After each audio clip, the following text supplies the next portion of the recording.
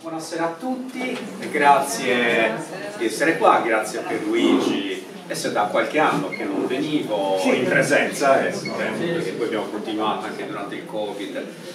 Pierluigi è sempre stato molto molto attivo, eh, verrò oggi, sono venuto in veste non tanto di semplice divulgatore, eh, quanto invece ehm, responsabile scientifico appunto di due parchi archeologici che si trovano in Ogliastra.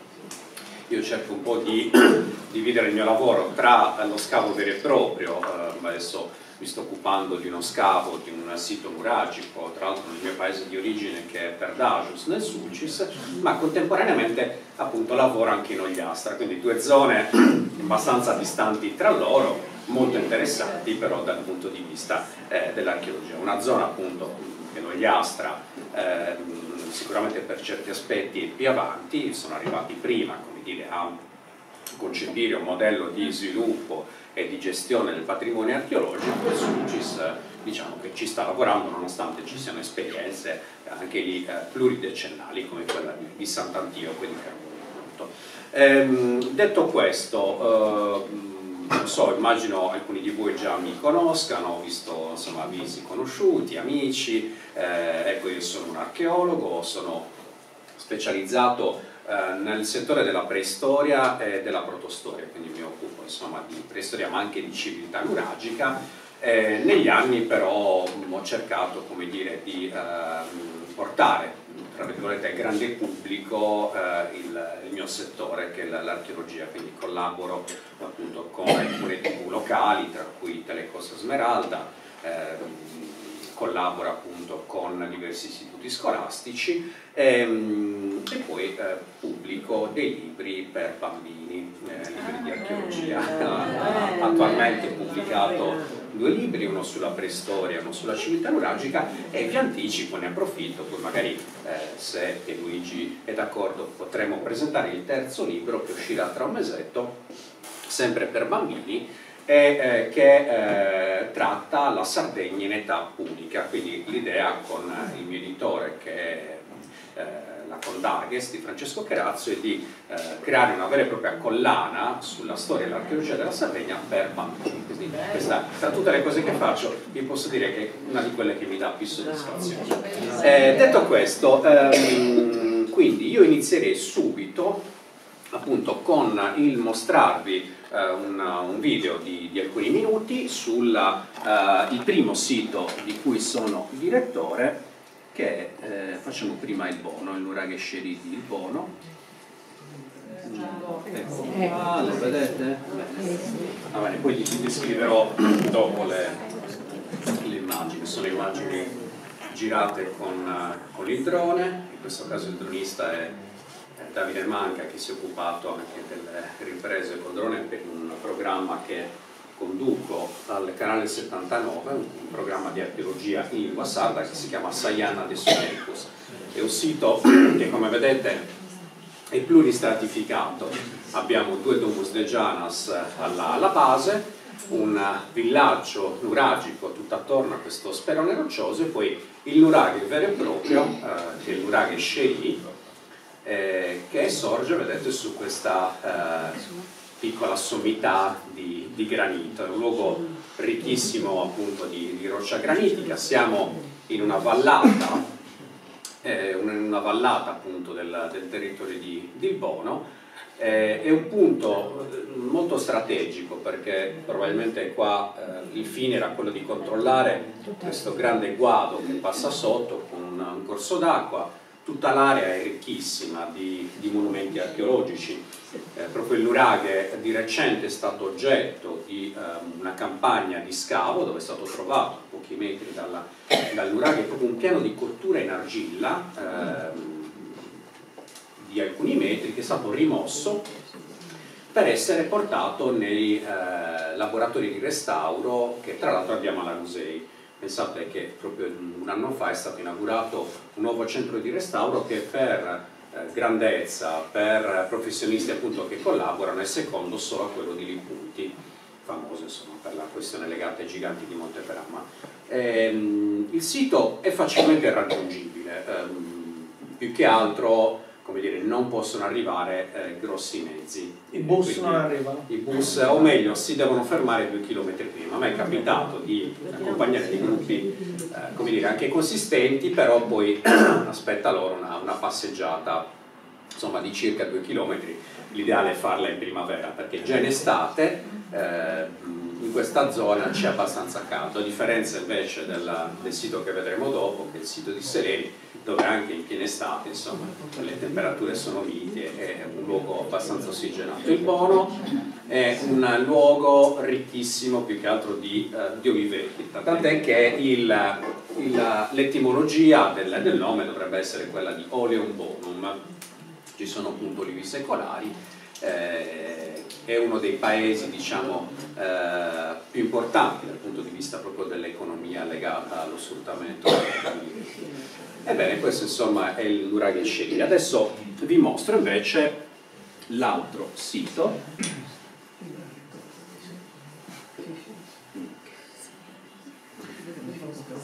Qua sì, eh, è una grande foresta di, di lecci e di sugheri, insomma, a fare da, da padrone a tutta, tutta l'area. Eh, questo sito, poi vi racconterò insomma, un po' le vicende che hanno portato alla sua scoperta. Sono in mezzo? Ah, okay. no, sono io, mezzo a me. Eh, che qui, insomma, è, è, un sito molto affascinante. Eh, chi viene da noi sia a Il Bono, ma soprattutto a Seleni, rimane colpito proprio dalla, dalla cornice ambientale no? che attornia questo, questo scenario fantastico dove si spazia dalla, dal mare, perché il mare è vicino, però come sapete la costa ogliastrina è abbastanza aspra, no? è fatta proprio di, eh, di, queste grandi rocce di, di granito eh, e si arriva appunto con la, con la vista fino appunto ai monti del, del Gennargentu. Questa è una delle due tombe giganti, la tomba 1, che è anche quella più antica, questa è la tomba 2 la seconda tomba appunto eh, che si può visitare nel, nel, sito, poi vi spiegherò un po' meglio insomma a che epoca appartiene, c'è un, grande edificio che ripropone un po' l'architettura nuragica, là eh, c'è un, un, albergo, un ristorante e anche un bar con una sala conferenze, quindi eh, questo sito a differenza appunto del, di Il Bono si raggiunge mh, anche con, con grandi mezzi. Eh, certo un po' distante da Cagliari, insomma, bisogna mettere in conto due ore, un'ora e mezzo più o meno di, eh, di, viaggio. Queste sono appunto alcune riprese che riguardano le escursioni notturna, perché noi negli ultimi anni stiamo puntando molto proprio sulla fruibilità del sito,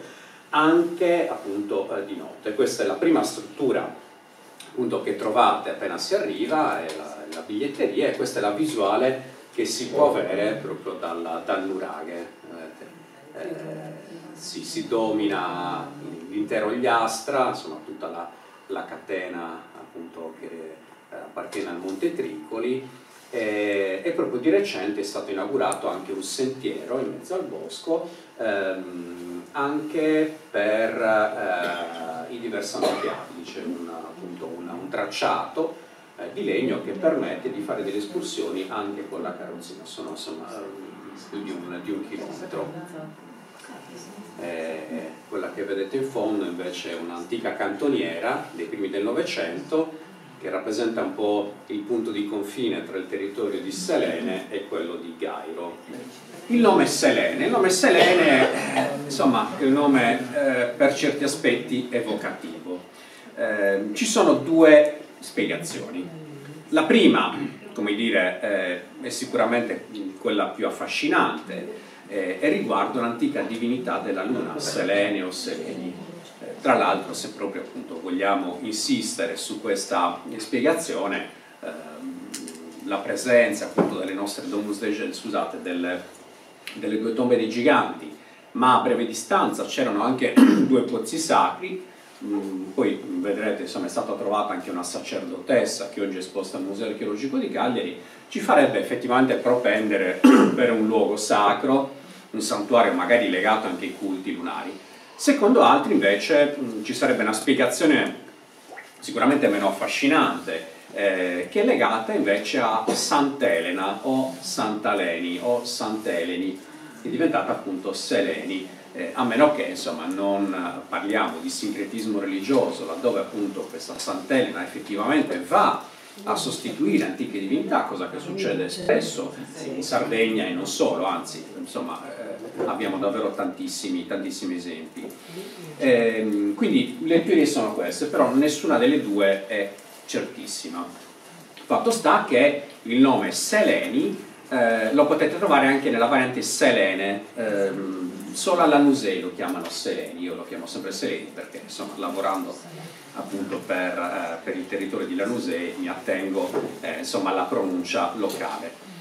Bene, dove ci troviamo? Ci troviamo nella costa eh, centro, diciamo, orientale del, dell'isola, siamo nella regione storico-geografica dell'Ogliastra, una regione come sapete abbastanza aspra dal punto di vista eh, territoriale e per diversi decenni, se non secoli, è stata anche una regione abbastanza problematica dal punto di vista sociale, pensiamo al fenomeno appunto alla piaga del, del, del banditismo. Bene, oggi mm, superato insomma, questo problema, l'Ogliastra punta, sta puntando appunto tantissimo sulla sua promozione in termini turistici, perché? Perché è un luogo che unisce mare, montagna, archeologia, gastronomia, insomma in Ogliastra potete davvero trovare di tutto, ce n'è per insomma, tutte le, le esigenze. Potete in, nel giro appunto di 20 minuti passare da cime alte più di 1000 metri appunto ad una costa bellissima per chi insomma l'ha frequentata sa bene che le spiagge ogliastrine insomma, sono, sono, davvero tra le più belle io credo di tutta, tutta l'isola. Quindi io attualmente sono dal, dall'anno, uh, dalla fine del 2021, il, direttore, il responsabile scientifico uh, di questi due parchi archeologici, prima quello di Seleni al Museo, il secondo quello di Scerì a Il Bono. Allora, cominciamo da uh, Seleni. Seleni è posizionata, pensate, a quasi mille metri di altezza. Eh, ecco perché vi ho messo un'immagine, la prima immagine del, del nuraghe ricoperto da questo manto bianco di, di neve e questo cosa vuol dire? Che eh, ci sono diversi giorni l'anno, a volte anche alcune settimane, in cui insomma, eh, i nostri monumenti sono ammantati da questa coltre bellissima eh, bianca, ehm, salvo insomma, eh, particolari eh, diciamo, problematiche legate magari alla chiusura della strada, il sito comunque è sempre aperto, 365 giorni all'anno. E, e quindi si può visitare in diverse eh, sfumature, lo potete vedere appunto in inverno con la, la neve, lo potete vedere eh, in autunno, è bellissimo perché come vi dicevo eh, il, il, parco è immerso in una foresta fatta di lecci ma anche di, eh, di castagni, quindi questo cosa vuol dire? Che vedete proprio il, il colore dell'autunno a partire da, eh, da, da, ottobre, più o meno vedete qua ho fatto una foto con eh, il frutto del castagno eh, e poi lo potete vedere in primavera, cominciano a risbocciare i fiori e poi c'è un viale bellissimo fatto con dei, delle piante di ciliegio giapponese eh, che è una fioritura bellissima ma non produce almeno lì dei frutti, questo perché è stata proprio una scelta dell'amministrazione comunale per evitare che si riempisse la strada dove passano auto appunto, di, di, frutti di ciliegio, però dal punto di vista cromatico è davvero qualcosa di spettacolare, infatti vengono tantissimi appassionati anche di natura, di botanica eh, nel nostro sito, alcuni decidono di visitare i monumenti, altri invece di passeggiare nel bosco e quindi fotografare le diverse specie botaniche che eh, si possono incontrare. Allora, eh, vi do qualche cenno appunto sulla storia del, del, del sito. Pensate che eh, le prime ricerche ehm, sono datate al 1860 il generale, anzi il cavaliere Alberto Ferrero della Marmora, che eh, molti di voi già sicuramente conosceranno per i suoi immensi studi, la, sua passione, il suo amore per l'isola, lo portò anche a Lanusei, cioè non c'è angolo di Sardegna che quest'uomo, questo grande studioso, non abbia visitato. E ci dice anche che già nel 1837 lì, eh, lui non la chiamava Seleni, però la chiamava eh, Padenti e Baccai, eh, poi oggi siamo riusciti a, a, individuarlo proprio nel sito di Gennacini che stiamo scavando e parla anche di un'altra località che ehm, Perdevroris che dista veramente poche centinaia di metri dal sito, oggi c'è un agriturismo prima c'era un ovile e pare che proprio là avessero trovato una quantità di tesori enormi, soprattutto di, di età nuragica, tantissimi bronzetti, due riuscirono a confluire al museo di Cagliari, ecco a proposito di reperti spariti, di questi due Ecco, solo uno eh, è giunto fino ai giorni nostri, che è questa bellissima sacerdotessa. Va detto anche che sì, forse in quegli anni c'era il famigerato Gaetano Cara, eh, no, che era stato l'ideatore della truffa ai danni del, del, re Carlo Alberto con i famosi bronzetti falsi che oggi trovate esposti all'antiquario marmorense di, di Odistano però anche molti oggetti autentici sono stati venduti quindi ma eh, non, non, lo sapremo mai insomma qual è l'altro bronzetto che è scomparso. La sacerdotessa di Seleni, questa sacerdotessa, questo bronzetto che vi dicevo è stato rinvenuto probabilmente ecco, agli inizi dell'Ottocento, è un bronzetto insomma, che ha riscosso un certo successo perché è stato rifatto da eh, diverse persone che si occupano appunto di eh, riprodurre l'abbigliamento eh, nuragico, Andrea, l'amico Andrea Loddo eh, essendo lui tra l'altro gastrino originario di, di Tortolì, ha realizzato, eh, ha realizzato anche, no scusate l'Anuseino, adesso non si arrabbia, eh, ha realizzato appunto una copia di questo bronzetto, rappresenta una, una donna no? con questo atteggiamento proprio ieratico che porta un cappello, vedete, conico, in origine probabilmente aveva una piccola falda che poi si è rotta o è stata rotta, insomma non sappiamo bene eh, che, che, come sia, si sia appunto eh, così deteriorata, è un viso, come vedete, abbastanza schematico, la mano destra sollevata in segno di, di, di saluto, ma saluto divino, quindi l'orazione, ecco, e nella mano sinistra tiene una, una, ciotola, una ciotola che sembra piegata quasi verso l'interno, come se dovesse versare, e poi indossa questo bellissimo mantello, una lunga gonna, e questa goliera o gorgiera che vedete parte dalla, da sotto il mento e arriva praticamente fino al, al seno. Eh, questa statuina dovrebbe provenire proprio, eh, si dice, da Palente Baccai che noi oggi chiamiamo Gennacili. Il sito mh, mm, è suddiviso in due parti, abbiamo la prima parte con le due tombe dei giganti, eh, 100 metri più avanti abbiamo il nuraghe eh, e il villaggio che attualmente appunto è oggetto di, di scavo. Allora, quando arrivate nel sito troverete appunto le indicazioni per la tomba 1 e la tomba 2. Possiamo offrire, come dire, eh, due tipologie architettoniche, funerarie ed etanoragica di epoche differenti. La prima tomba, denominata anche la tomba eh, 1, è la tomba più antica. È una tomba appunto che venne realizzata approssimativamente, noi crediamo, tra il 1800 e il 1600 a.C., è la tipologia cosiddetta arcaica, che proviene direttamente dalle architetture megalitiche, dolmeniche, infatti eh, c'è un corridoio di circa 15 metri di lunghezza fatto appunto con lastre infisse di coltello, in origine probabilmente era eh, ovviamente piatta bandata, c'erano delle lastre che coprivano questo corridoio e poi l'esedra, cioè queste due ali vedete che si aprono dall'ingresso principale con delle lastre lavorate sempre di, di granito, lì granito non manca, è abbondantissimo. Ehm, questa tomba è stata eh, sottoposta a indagine scientifica, diciamo che i primi scavi moderni si datano agli inizi degli anni 90. Eh, qui operò eh, l'archeologo Mauro Perra, Mauro Perra che ha condotto gli scavi sia nella tomba 1 che nella tomba 2 e ehm, purtroppo il materiale scheletrico era già scomparso, vuoi perché da una parte il granito, lo sapete, è una roccia molto acida che tende proprio a deteriorare eh, il materiale organico, soprattutto quello osseo, e dall'altra perché probabilmente era stata già spoliata nel, nel corso de, dei secoli, nel corso del, degli anni. Ci sono tantissime pietre lavorate attorno, per cui noi presupponiamo che le tombe fossero anche più di due. E, ehm, e, poi vedete i banconi sedile, ehm, quando si arriva lì proprio l'impressione che ehm, la, la, sacralità sia rimasta ecco, dalla, da 4.000 anni fino, fino, ai giorni nostri. E poi l'altra tomba, si fanno appunto, si percorre un sentierino, si fanno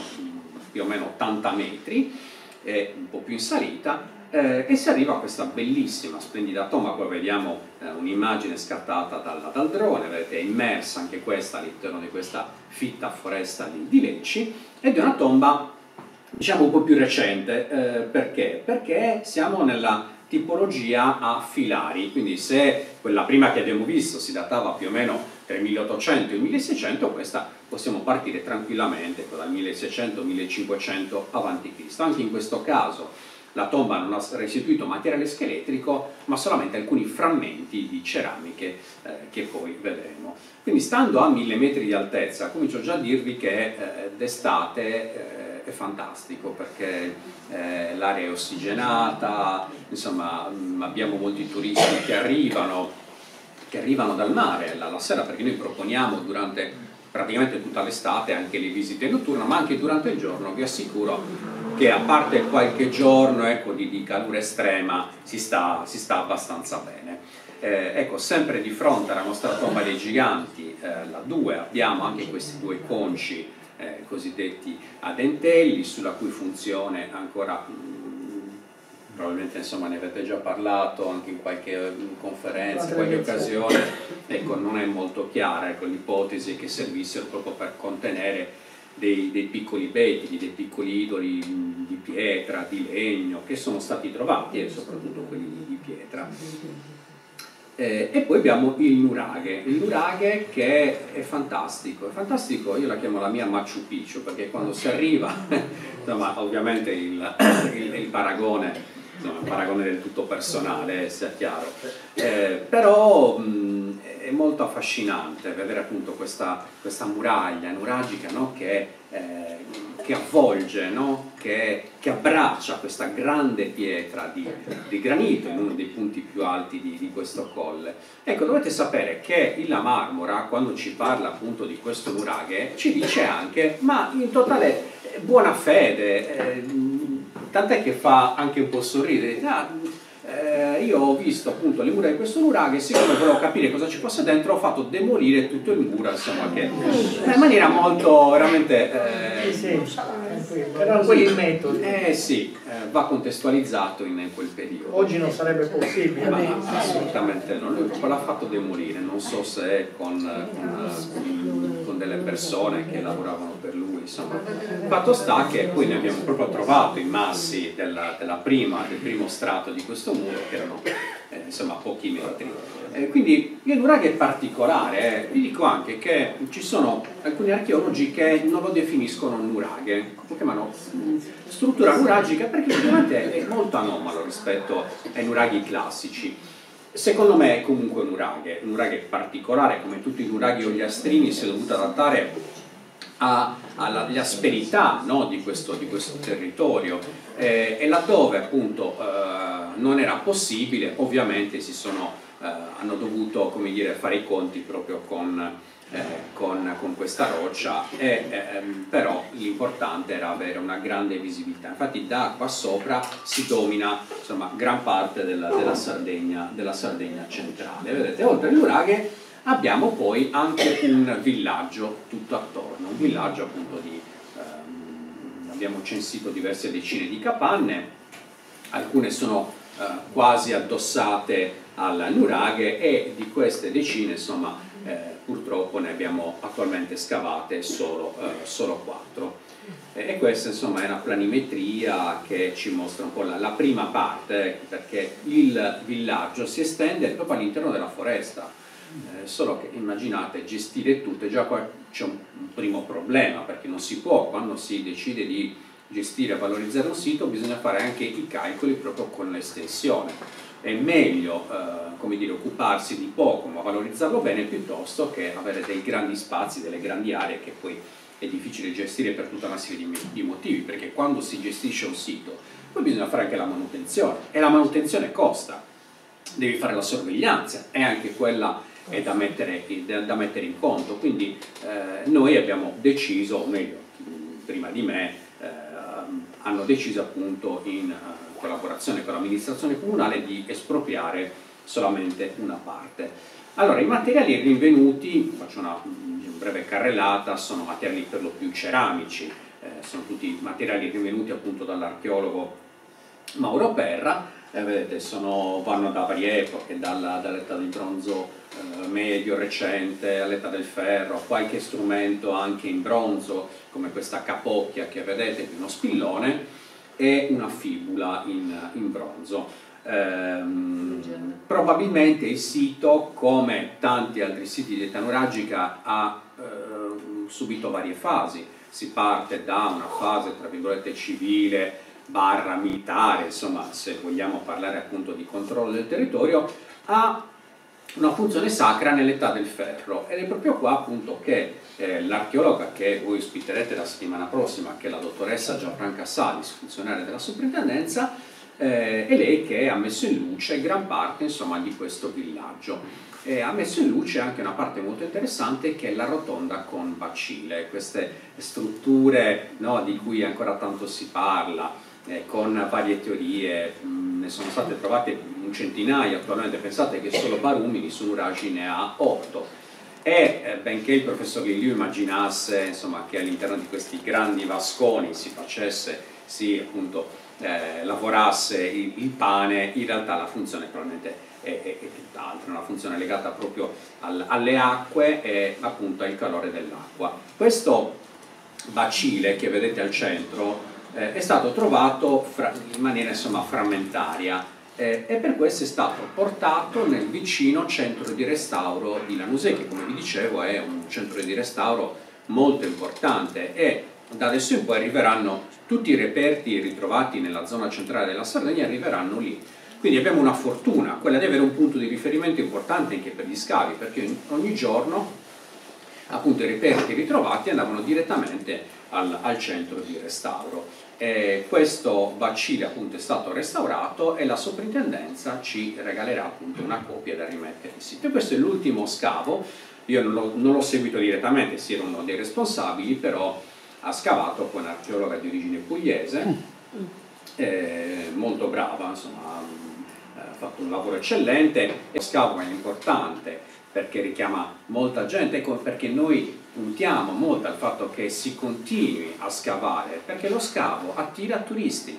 e noi dobbiamo vendere questo prodotto, lo dobbiamo raccontare,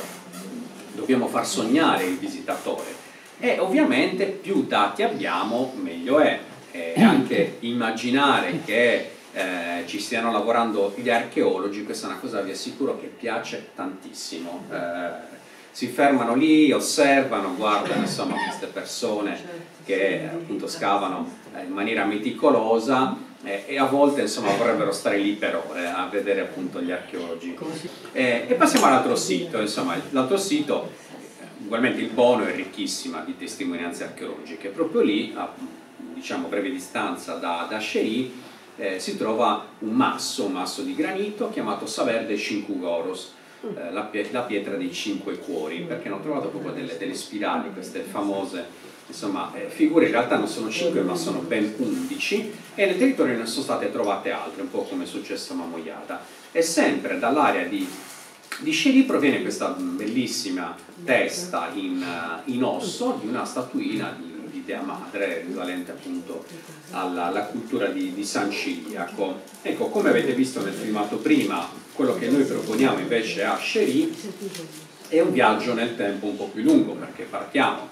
dal Neolitico recente, dalla cultura di San Michele di Ozziri, con queste due belle eh, domus de Janas, eh, soprattutto una è particolare vedete perché sta in questo masso eh, più o meno isolato, poi ce n'è anche altre, abbiamo trovato altre domus, altri anfratti, eh, adesso stiamo procedendo proprio a una pulizia generale del sito perché per anni lo abbiamo preso in gestione l'anno scorso, però tutte le gestioni precedenti non hanno mai, come dire, disboscato, ma questo non vuol dire che dobbiamo tagliare tutte le piante che ci sono, fare una cernita, ma cercare comunque di offrire al visitatore anche dire, una visuale che sia archeologica e non solo naturalistica. Il nuraghe che avete visto prima è un nuraghe trilobato, qua siamo certi che sia un nuraghe, eh, è un nuraghe con appunto la, la, torre centrale, il maschio, con una camera anche molto ben conservata e tre torri perimetrali che insomma eh, dovremmo scavare eh, a, a, breve termine. E passiamo adesso alla gestione, dopo questo, questo questi prodromi legati appunto alla storia dei siti, in che modo gestire? Allora, partiamo appunto da un dato che, ehm, che è legato proprio alla longevità della cooperativa, la cooperativa La Nuova Luna, che pensate gestisce il sito di Sereni da ben 26 anni, una delle più longeve in Sardegna, lo gestisce in maniera ininterrotta. Questa è una fortuna, una fortuna perché ti permette comunque di programmare, anche se poi eh, la, um, la, concessione è triennale, sia chiaro, però permette appunto di eh, programmare eh, anche a lungo termine e eh, la gestione di questi due siti, pensate, dà lavoro a ben 13 persone quindi 13 stipendi che eh, insomma, rimangono come dire, in Ogliastra. I nostri loghi sono questi, il, quello centrale riguarda appunto il parco archeologico di Seleni, che comprende appunto le tombe dei giganti e il nuraghe, poi eh, quello di Il Bono è questo, questo qua, il cuore, perché? Perché riprende Saver de Shipugoroso che vi ho fatto vedere prima,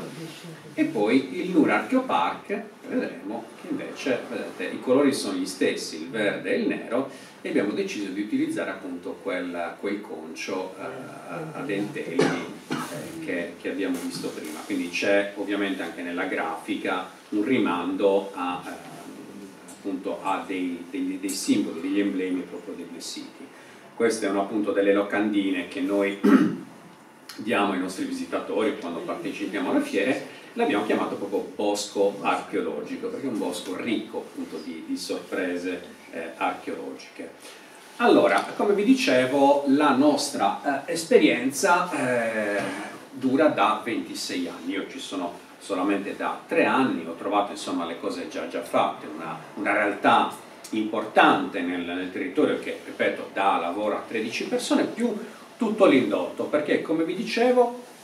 a pochi metri c'è un ristorante che è aperto tutto l'anno, un albergo immerso proprio nel, nel bosco, poi un bar, poi mh, sebbene sembri isolata, in realtà quella è una zona di passaggio, transitano molte persone,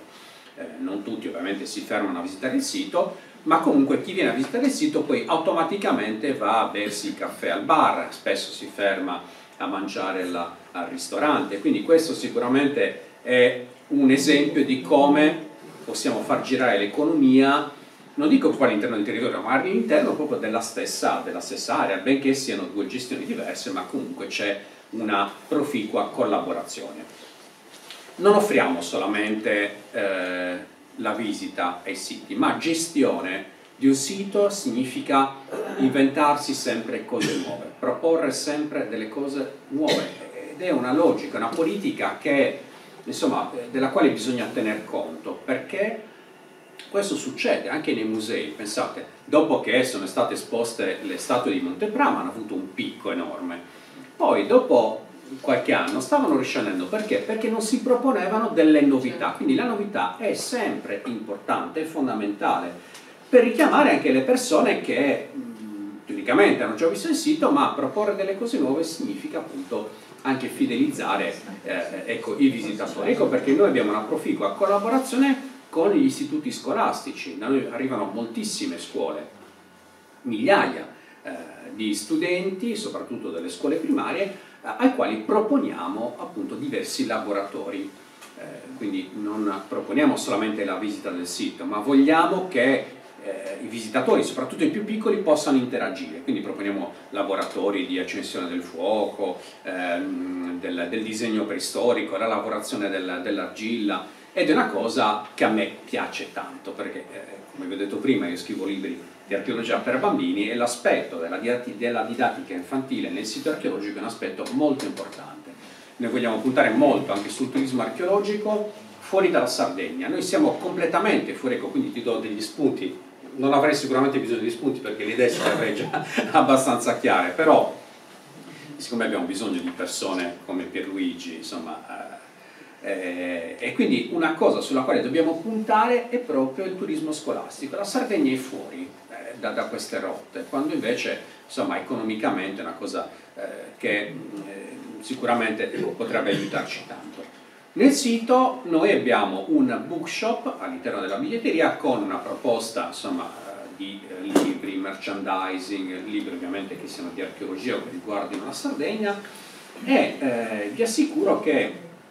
vendere gadget come t-shirt, come spille, penne, eh, ci aiuta tanto, tantissimo dal punto di vista economico, eh, soprattutto quando vengono le scuole, i bambini vogliono un ricordino. eh, ed è una cosa davvero che ci aiuta tanto, infatti puntiamo anche a ingrandire il nostro, eh, il nostro bookshop, ad acquisire sempre eh, materiale nuovo e ci stiamo tecnologizzando perché oltre al eh, sito internet, le pagine Facebook, si può appunto prenotare la visita anche appunto con, con, eh, con il telefonino, quindi da, da un'app. Eh, a proposito di proporre sempre cose nuove, bisogna tenere conto che il sito archeologico può prestarsi tranquillamente ad altri eventi che non siano mh, strettamente, necessariamente collegati all'archeologia. Eh, ecco perché eh, proponiamo spesso presentazioni di libri, ehm, oppure spettacoli teatrali. Qua vi ho messo giusto un, un esempio, insomma, eh, alcuni esempi dei, dei tanti. Eh, noi partecipiamo ogni giorno appunto alla giornata internazionale contro la violenza sul, sulle donne. Eh, proponiamo appunto del, eh, delle tappe anche del trenino verde, perché a poche centinaia di metri c'è proprio la, la, sosta del trenino verde, quindi questo è un altro vantaggio, noi collaboriamo con loro perché ci fanno arrivare soprattutto in estate, in primavera, eh, parecchi turisti, um, visite appunto che spaziano anche nell'enogastronomia, visite notturna con appunto la visione delle, delle stelle, perché immaginate il cielo quanto è pulito, siamo in alto, no? Eh, eh, Niente inquinamento, quindi non c'è inquinamento, ma non solo, vi dirò, a un chilometro di distanza abbiamo l'osservatorio astronomico e non tutti sanno che l'associazione astronomica eh, eh, di Lanusei è una delle più antiche in Italia, eh, mi pare che abbia più di 100 anni o qualcosa del genere, e collaboriamo anche con loro, appunto arrivano eh, alcuni di questi astronomi che collaborano con, con l'osservatorio eh, e appunto ci danno una, una grossa mano nell'organizzare eventi in, in notturna. La televisione, quando si decide di valorizzare e gestire un sito, non dobbiamo mai dimenticare di promuoverlo e sfruttare qualsiasi occasione utile insomma, possa dire, far parlare del, del sito. Eh, qua vi ho proposto due, due esempi. Eh, l'anno scorso abbiamo ospitato una troupe eh, canadese, una tv canadese del, del Canada francese, eh, con due eh, conduttori eh, molto famosi in Canada, sono un po' l'equivalente dei nostri Paolo Bonolis e Luca Laurenti, no? che hanno fatto un programma dove hanno girato per, per il mondo e hanno scelto ehm, tre o quattro siti per la Sardegna, tra cui appunto è il nostro. Poi qua abbiamo Lorena Bianchetti che è venuta a fare un servizio per il programma Sua Immagine, e anche quello insomma ci ha fatto parecchia pubblicità. Non è che nel momento in cui eh, si, eh, si, manda in onda il servizio e arrivano frotte i turisti. No, non, è, non funziona però così. A tamburo battente, però bisogna come dire, sempre essere attivi da quel punto di vista. Bisogna partecipare agli eh, eventi fieristici, le, le, borse del, del, turismo, bisogna essere presenti anche in, in, in queste eh, grandi vetrine, piccole grandi vetrine, archeologica, da poco appunto abbiamo partecipato alla alla fiera del turismo archeologico eh, di, di, Parumini, anche lì non è che nel momento in cui partecipi poi il giorno dopo arrivano i gruppi, però devi appunto essere presente, a volte sono più le spese, come dire, nella promozione eh, che non il guadagno immediato, ma vi assicuro che poi nel giro di mm, insomma, pochi mesi, alcuni anni arriva. E eh, andremo adesso a, a febbraio alla Turisma di Firenze, una vetrina importantissima. Anche lì abbiamo eh, deciso di fare un investimento con il sistema culturale Ogliastra, eh, quindi con i comuni anche di Libona, di Villagrande e Strisai, eh, con i quali collaboriamo molto, lì c'è il bellissimo sito di Sacco Esforros, eh, Sagarcaredda.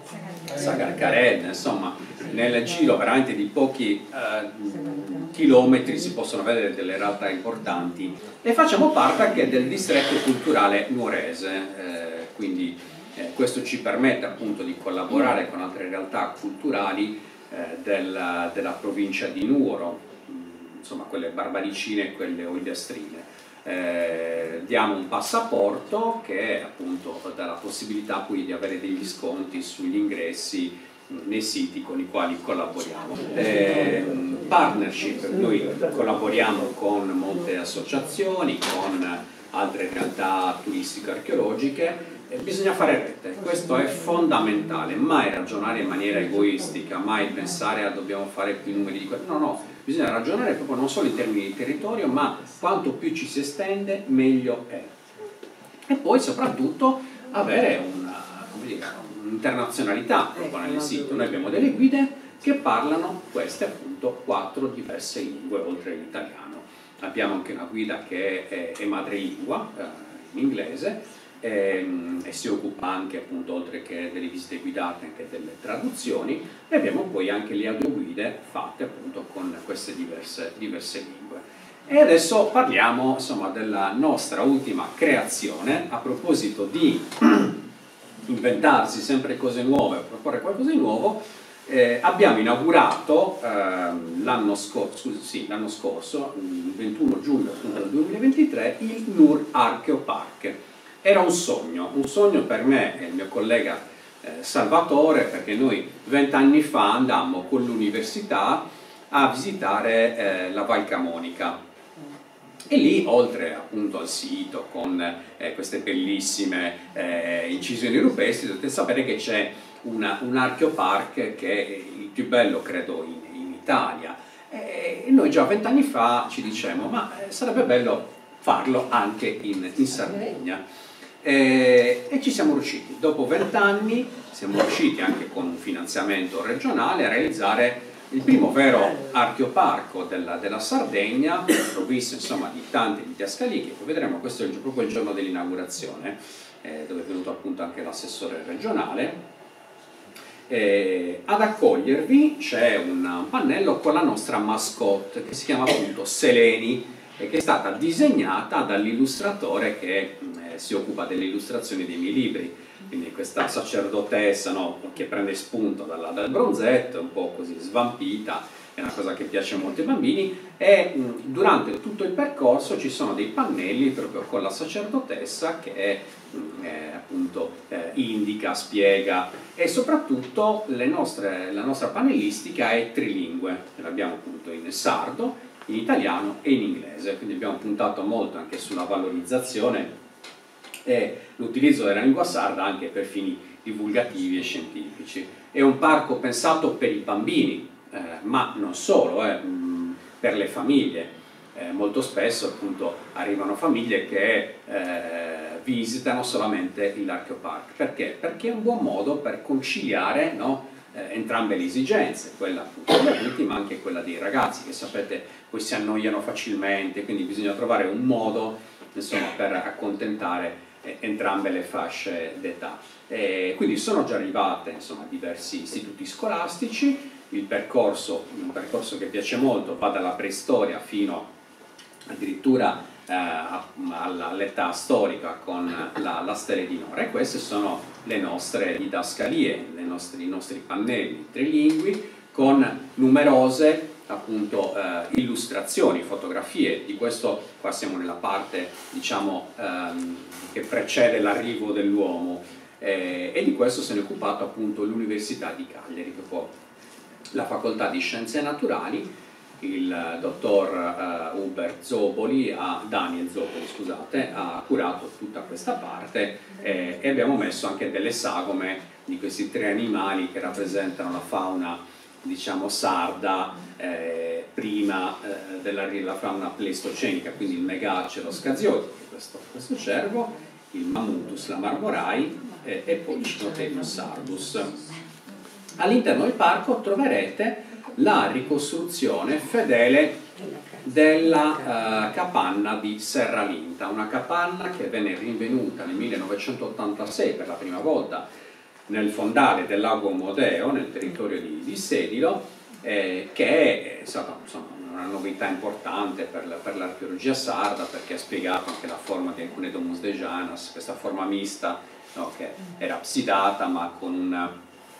con un um, ambiente anche rettangolare. E all'interno le capanne, tutte le capanne sono arredate con eh, riproduzioni di vasi dell'epoca, macine, eh, altri oggetti insomma eh, tipici di quel periodo. E poi abbiamo ricostruito a grandezza naturale, quindi fedelmente, proprio la rotonda con bacille di Sasel de Soscarros di Oliena. Abbiamo rifatto, vedete, i blocchi di basalto e di calcare, quindi questa bicromia no, tra il bianco e il nero, il, uh, il, bacile centrale con le pietre, perché la nostra ipotesi appunto è che ci fossero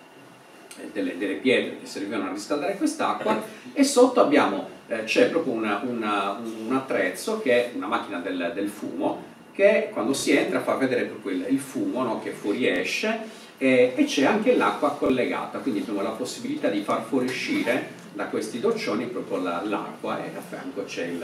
eh, anche il, il, focolare, tutto a grandezza naturale. E poi abbiamo riprodotto in scala ovviamente ridotta il relitto di un Uluburun che eh, Pierluigi conosce benissimo e sicuramente insomma, avrete avuto modo di, di vedere anche in qualche, in qualche, conferenza. Abbiamo recuperato una nave, una, nave, una barca insomma,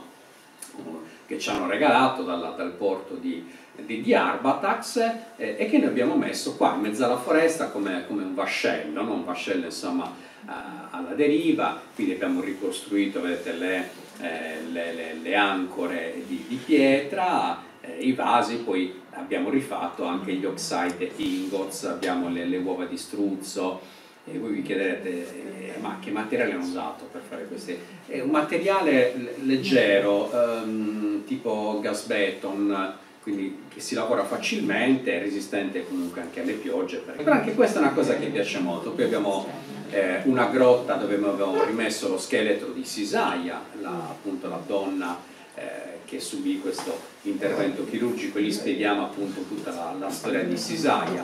Allora, concludiamo con questa, con questa eh, frase. La cultura rende più della cocaina. È una cosa che, eh, che Pierluigi dice spesso, eh, eh, investire in cultura, guardate, è una, eh, è una cosa tra le più redditizie che si possa avere, perché è provato che ogni euro investito in cultura ne produce 4. Noi siamo l'esempio di come questo possa succedere, perché oltre a questi 13 eh, indotti eh, diciamo diretti, che sono appunto i eh, dipendenti della cooperativa, abbiamo un indotto un po' più grande che è derivato appunto dalla presenza del, dell'albergo con ristorante. A pochi metri abbiamo anche un agriturismo che lavora grazie alle persone che noi lì mandiamo. Eh, oltre a questo appunto abbiamo eh, tutta una serie di eh, collaboratori che eh, dire, ci danno una mano, ci sono delle persone che fanno anche delle escursioni con i 4x4, insomma riusciamo davvero con questo sito a richiamare visitatori che poi decidono di restare nel territorio e far girare così l'economia. Eh, oltre a questo, quindi, ovviamente mh, bisogna dire, avere delle idee sempre nuove eh, sulla gestione, ma soprattutto sugli eventi. Però ecco, io sono l'esperienza, la prova di come appunto questo prodotto possa funzionare. E vi dirò di più, c'è sempre più sete proprio di conoscenza e voglia di visitare i siti archeologici e culturali. Quindi è un percorso che dobbiamo, uh, dobbiamo inevitabilmente intraprendere, è un percorso che insomma, eh, rappresenta il nostro futuro. Eh, io come vi ho detto lavoro in due territori diversi, uno è l'Ogliastra che è arrivata ben prima del Sulcis a questa soluzione, il Sulcis che ancora come dire, eh, non fa pace con se stesso perché c'è un settore economico che, ahimè, quello dell'industria, ve lo dice il figlio di un operaio, eh, che, che, lì ha lavorato per, per, decenni, ma che non può più come dire, essere intrapreso. Quindi bisogna